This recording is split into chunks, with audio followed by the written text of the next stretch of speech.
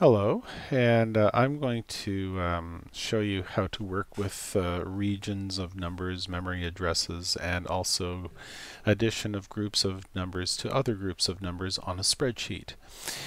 And uh, I've got Excel 2003 open here.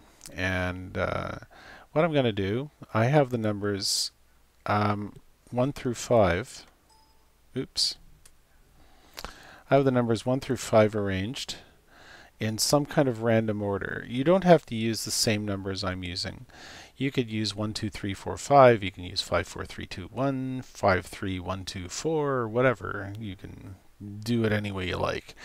Uh, but they have to be non-repeating and they have to be the numbers from 1 to 5. So we're just going to make a square of these and I'm going to show you how to copy regions, uh, copy cells onto other cells. Like if I want to copy D2 onto A2, or sorry, I don't mean D2, I meant D1. Copy D1 onto A2. Well, one way to do it is to put an equal sign and then click on the cell I want to copy and notice the address shows up, D1. And and then I hit enter and I get uh, A um, uh, A2 being equal a2 being equal to 2. So in cell B2 I want E1. I want that 4 down here. So these last two numbers, really the idea is to be the first two numbers here. So I'm going to make this E4. You can also type it in. Oh, sorry, E1. You could also type it in. Um, uh, you don't have to click on the cell. And using the tab key, uh, I automatically can go to the next space while having that number uh, dutifully placed into cell 2, uh, B2. Now I'm going to copy A1, B1, and C1. So uh, A1 uh, equal sign B1, oops, and equal sign C1. And notice I have now uh, 2, 4, which are the last two numbers of the first row, and 3, 5, 1, which are the first numbers of the previous row, making the last numbers of this row. Because uh, Microsoft Excel has the ability to um, recognize relative cell addresses, and what a relative cell address is, is simply typing equal sign C1 if I mean cell C1. Uh, that is as opposed to absolute cell addresses like dollar sign $C, dollar sign $1. Um, that fixes that selection exactly on cell C1 and no other cell. But I don't want that. I want relative cell addresses because that's that's what makes the construction of this uh, magic square really cool. Okay, so we uh, we simply just that's why we're simply just typing C1 after the equal sign when we mean cell C1 because when we use relative cell addresses all a relative cell address means in this case is to to basically copy values of the of the row above into the row below in a certain pattern. And the pattern I specified was that the last two be made the first two and the first three of the previous row be made to the last three of this row. And I do this for three more cells. And by the way, um, what I do, you see this little square down here on the end of this selection of that row. Uh, I place my cursor over it. Notice the cursor changes shape to a, a narrow black plus, and I drag it down so that I have three more rows copied, and there we go. Now I have a 5 by 5 square of the numbers from 1 to 5 uh, with this repeating um, this repeating uh, copying pattern being applied to every row uh, below the first. So that's my first square. And I'm going to make one more um, before I start adding them.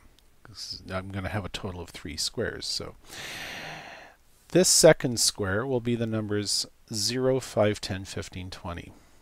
Okay, so another 5 by 5 square. It will consist of numbers in multiples of 5 starting from 0 and ending in 20. So I don't know. They and they can be in random order too. So 10 Oh, Why am I putting equal sign? I don't need an equal sign if I'm entering a raw number. And by the way, notice it makes no difference to the result. But I'm just going to put a 10 there because the equal sign is kind of redundant really. 10, 5, 0. Hello? Oh, I got these silly messages here. 10, 5, 0, um, 20, 15. Okay, that's what I just did. Now, uh, the copying now is going to be a little different, slightly different, where I'm going to copy the last three instead of the last two onto the first three here. And the first two will be the last two here.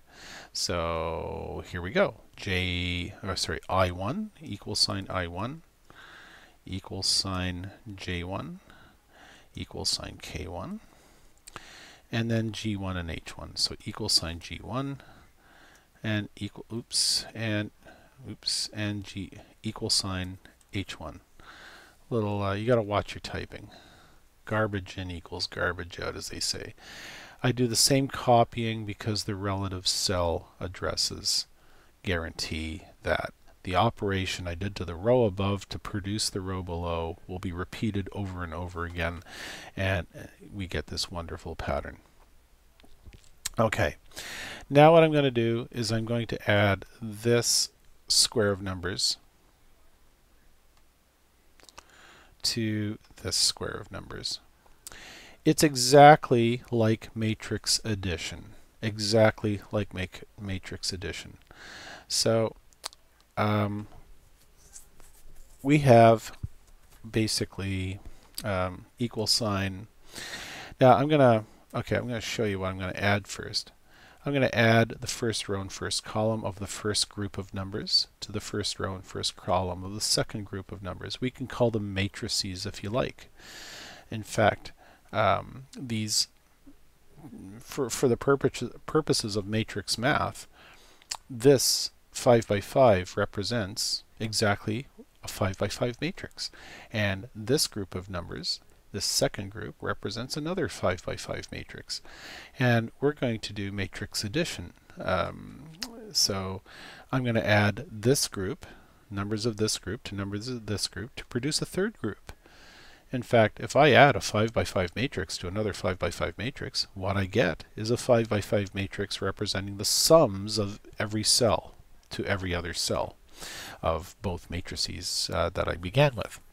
So I have here A1, I have here G1, and I'm going to add them both together here. So uh, equal sign A1 plus G1. There you go. So if I get that, I get 3 plus 10, which is 13, and that's exactly what it figures out the, the total is being. The next is because I used relative cell references, if I go to the cell next to it, this must this is going to result in B1, B1 plus H1. Well, let's try that out. So if I move that over to here, that's exactly what I got, B1 plus H1. Okay, so, and that's 5 plus 5, which is 10. Well, let's do this for the other remaining three squares. So I added C1 plus I1 Okay, that's 1 plus 0, and of course what I got from that is 1. I have 2 plus 20 to make 22, that's D1 plus J1. And finally we have E, uh, E1 plus K1, that's 4 and 15, and that makes 19. Well, if we can do that, if we can get away with that with a whole row, we can get away with that for a whole matrix. So we can drag that little square down and now we have the finished product. This is a 5 by 5 magic square. In fact, why don't we make it look pretty? Well, not really that pretty actually. All I want to do is place a border around it and maybe a relatively thick line. So um, let's just put that there. And now we have our magic square. Notice some features of the magic square.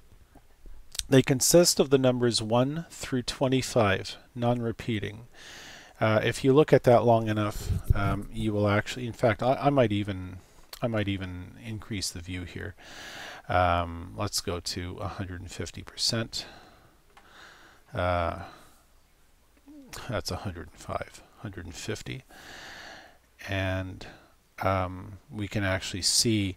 If you, if you want to stop the video and see for yourself these are the numbers 1 through 25 non-repeating in some kind of random order. You can sort of discern from this magic square that there really is no no discernible pattern to the numbers.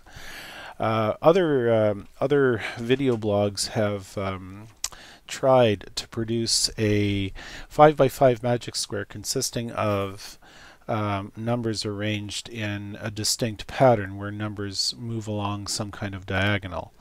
And um, and uh, you can see that there is no discernible diagonal pattern. One two three four five six seven. There's no real there's no real pattern here. But nevertheless all of these numbers will add up to 65. And remember, we introduced this whole magic square by randomly arranging these numbers to begin with. These were random arrangements of numbers, and we ended up producing a random arrangement of numbers that will now have magical properties. And I'm going to show you. Well, all of the rows, columns, and both diagonals will add up to the same sum. Well, let's try it out.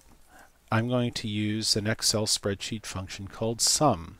You have to enter equal sign and then the word sum and highlight. You can highlight the range of cells that you're summing or do D7 to H7 and don't forget the colon in the middle. But what I just did is I highlighted those squares that I wanted to add and then um, closed my bracket. And what do I get? I get 65. Well, let's see if we get the same thing on the next row. So sum, open bracket, and then I highlight this row. This is D8 to H8 now. Close my bracket and enter. And I get 65. It looks to me as though 65 looks like the magic number for this square. Well, um, I can do this and copy that so that every other row is summed up appropriately. You can see that doing this magical copying that Excel is good at doing also results in the the right kind of responses.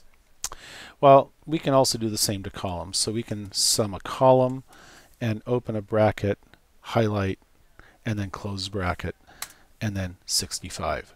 And then uh, just because I'm lazy, I just want to copy that result all the way across. And you can see that we actually do in fact get, oops, we actually do in fact get um, the exact sum of the exact columns that we want. Uh, no, no cheating.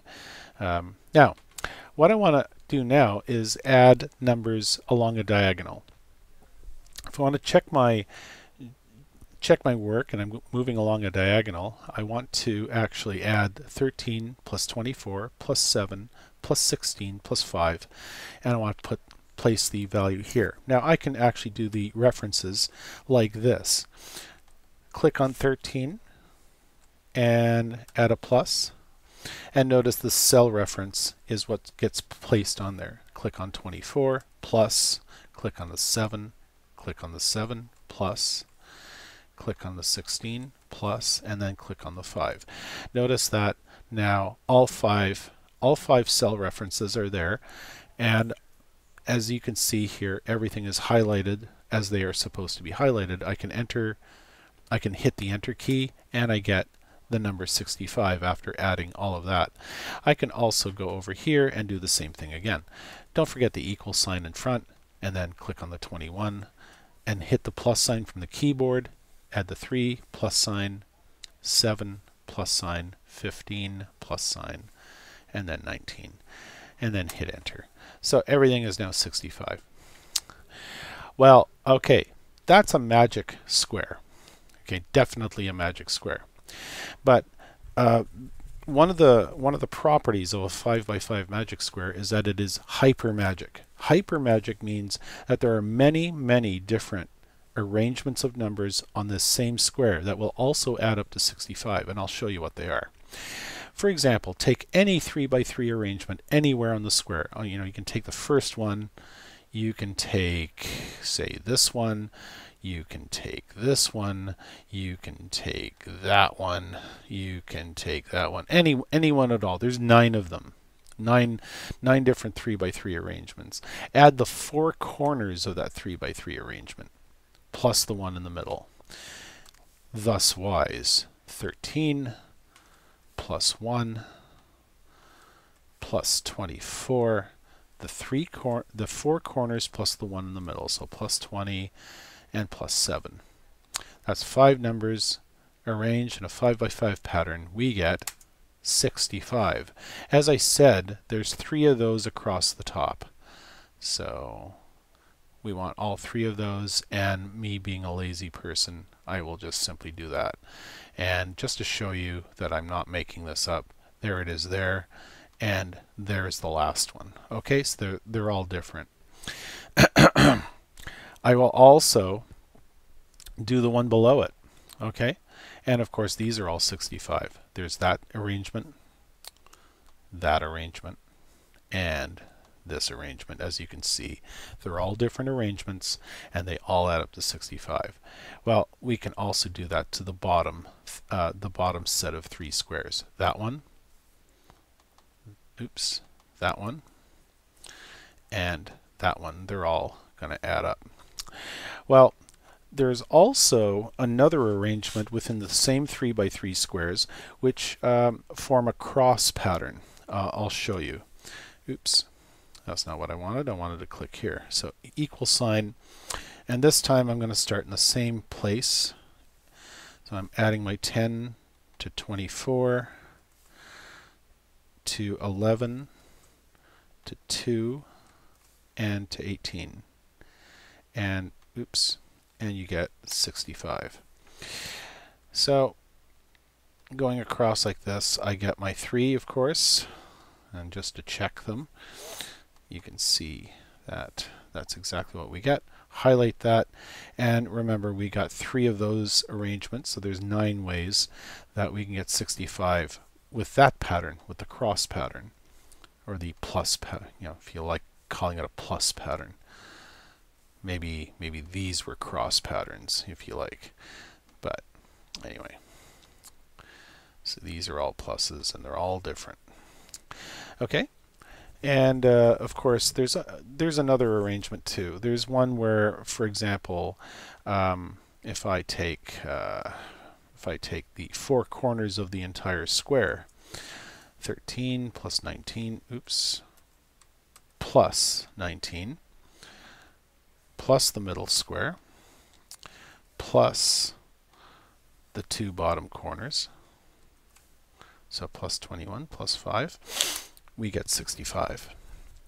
And of course, if you if you also add um, the top and bottom numbers. In fact, the five numbers in a plus pattern, you also get that too. So that one, 1 plus 23 plus 7 plus 20 plus 14. We also get 65. Uh, it gets weirder than this if if this can, if if if any such weirdness can be imagined, but it does get weirder.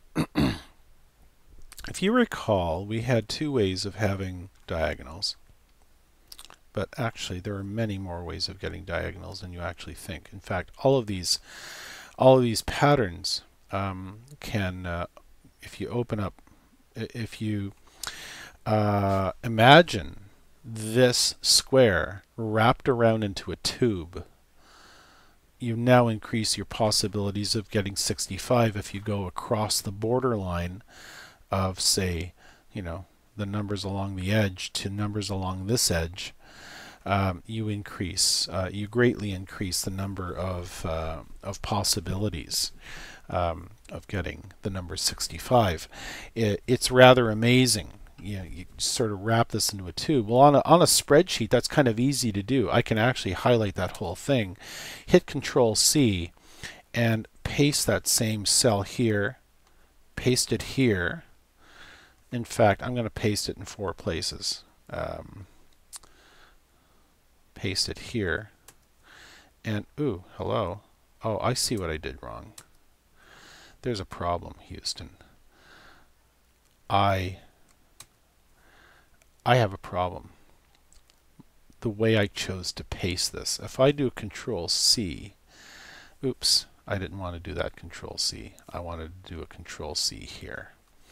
That copies, but I don't want to just paste the numbers. Notice what happened here. If I do Control V to do a paste like you would in, um, say, uh, Microsoft uh, Word, uh, you notice you get a completely bizarre pattern of numbers that has no resemblance to the original cell. So Control Z undoes this operation. What you want to paste are not the relative cell references. In fact, you're not even interested in the cell references. All you want are the values of the numbers. So you go up to Edit and you go to Paste Special. So you go to Paste Special and all you want to select are the values and that's it. So you paste the values and there you go. Now you got the numbers you want. And now you can select these with Control C and I don't believe that these will be harmful anymore. I think you're going to get exactly what you want to get. So Control V and Control V. Now you have um, four. If you want to, by the way, um, you you may have noticed uh, if you select a region, notice how these you get these kind of dashes that sort of go around the region that you selected. Um, they're referred to as marching ants. So if you want to get rid of the marching ants, you hit the escape key, notice, and just click on any cell and that gets rid of the selection. So um, now we have wide vistas opened up uh, by which we can now do new additions. Now we have to remember, maybe just for reference, I am going to put a box around this uh, set of cells. Okay, I'm going to put a box around that because we want to remember that this is what we had originally, right? We want to remember that. Okay, so we put a box around there, okay? And I, I, want to do some additions of cells that go beyond this box, but I want to make a rule that at least one of the selected cells for addition must be in that box. Okay, and if you do that, then you can um, go in this direction, you can go in this direction, and of course you can go off in a diagonal into this direction. Okay. Um, what's missing is the upward and to the left and uh, on the upward diagonal. If you're worried about that, because that opens up still more possibilities, select this cell and work from this box also. So um, uh, go to Format Cells, get that box going, um, and hit OK. So we actually have really two boxes here. So one rule is that we're not allowed to get outside this box and we got to work with some kind of orderly in, in some kind of orderly fashion here because like for example if I want a 9 by 9 eh, you know if I want to if I want to work from this box here and add uh, arrangements of this th this set of numbers together um,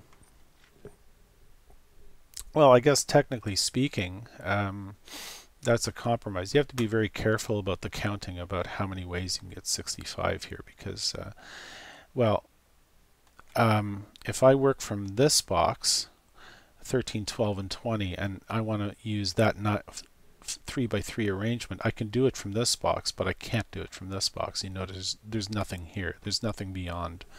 There's nothing on that side. So, But if I want to work from this side, sure I can do that. I can also do this. Okay. Uh, so there's numbers available working from this box that are not available from working from this box. Okay, and uh, also to avoid double counting, anything that's completely inside this box has already been counted. So don't reinvent the wheel. Um, let's say that we want to add this 3 by 3 arrangement going from here to here. Now remember, we're imagining that this magic square were wrapped around like in a tube. So on the other side of that tube, if we if we see the numbers 13, 10, 22, 19 as we rotate the tube, we come back to 13 again as we keep rotating in the same direction. So number so 3 by 3 arrangements like 22, 19, 13, 15, 6, 2, 4, 23, 20, like this one, become possible. So we can now uh, add um, such arrangements together, like for example 22 plus 13 plus um, 6 plus, uh, 14 uh, sorry 4 plus 20 enter and we get 65 now if we get 65 there we'll also get 65 oops we'll get 65 for the one below it. So um, this will also be a possibility and notice it bleeds into the square that is its next door neighbor. And one more there's also one more. So there's that. Now also if you actually um, go to go in this direction notice you get that square and also that's not possible uh, simply by staying inside one square as well. And uh, we can do that for two more two more tries okay? So we get this one and we get this one okay? Um, also um, well we can we can keep going because uh, if we can get that one then we can we can get say this one which is that and notice it's actually bleeding into the square below it and to the right so it's all kinds of stuff is happening and we can do this one too okay well, for that matter, we could have done the same thing to this square and keep going. We can just keep going down like that to get this and down one more to get this. Now, if you, um, well, uh, there's also something else too. Um, those are you can also try all the possibilities of that. I'm not going to go into all of them because uh, that would make this long video even longer. But uh, another sum that you might want to consider trying. Remember that we did diagonal sums here. Well, we can do this diagonal as well. That diagonal goes outside the box into the wraparound, into the 21. It's kind of like taking these four and adding this 1. It's like, again, wrapping things around in a cylinder. So um, taking that sum, 10 plus 18 plus 4 plus 12 plus 21 also makes 65. We can do that for for actually four different squares here. Notice there's many diagonals that are possible here. Okay, well, if we can do it for those four, we can do, well, I don't know if we can do it for the ones below, but that would be very interesting. In fact, I'm wondering if, well, they all work out to 65. And notice we can take diagonal, five member diagonal arrangements just about anywhere in that magic square and get the same thing. And of course, don't forget the leftward um, leftward arrangements going the other way. So if we can do remember 19, 15, 7, 3, and 21, well we can also take care of 6, 4, 25, and 17. So here's another one.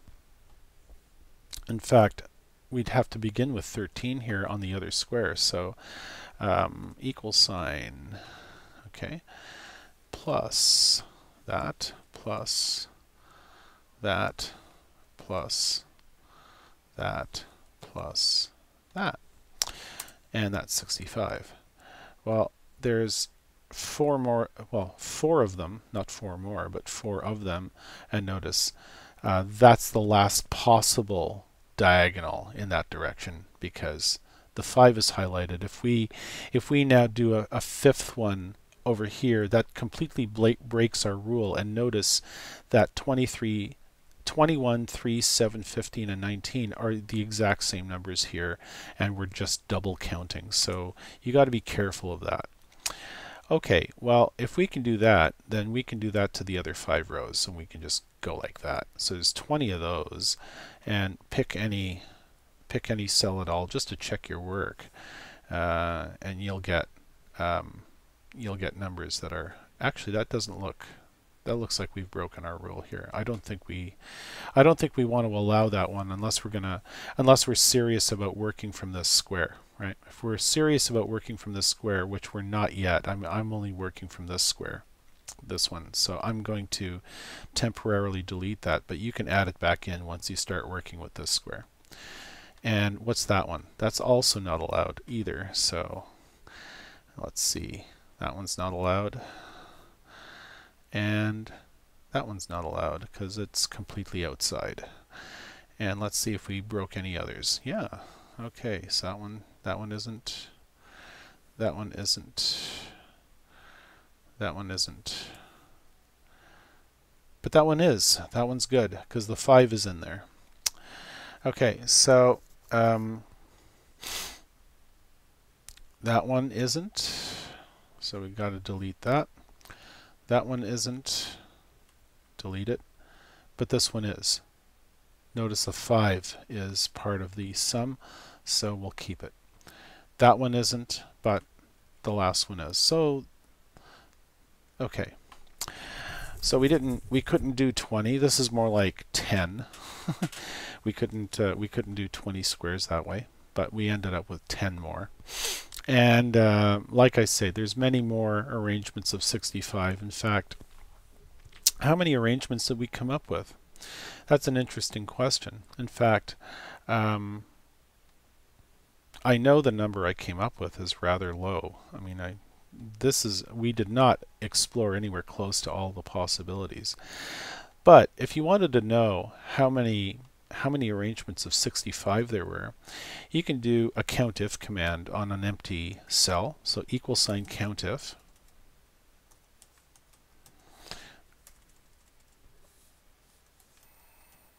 Okay, open bracket. And then uh, allow for your range. And that's just B7 to T24 close your bracket. No, don't close your bracket. Your criteria is you want to count how many 65s there are, so just put the 65 there, close your bracket now, and hit enter. I only came up with 72 ways that uh, 65s, uh, that sums of 65 can add up. Um, remember, uh, like I say, if you're if you're using this wraparound magic square, which I call a wraparound, I guess, because spreadsheets don't do wrapping very well um, unless you force the issue somehow. Uh, work within the rules that all your sums must come from that square and um, once you're finished working with this square and you start working with this square that all your sums should come from this square. Uh, at least one of the cells should exist in here or in here. Okay, so uh, I would like you, if you like to explore this, uh, explore these possibilities of how many ways you can get 65. Uh, I am told by some video blogs that uh, there are thousands of ways. Um, I once did a rather exhaustive examination of this using 5x5 magic squares. I don't believe there are thousands of ways. I would say hundreds um, I would say probably between two and three hundred ways of getting a sum of 65. I mean, the 72 uh, figure you see in front of you is rather disappointing, but it's only because I want to keep the video short. But you could, like I say, you could um, find all manner of ways by which to get 65, and like I say, I invite you to explore those possibilities.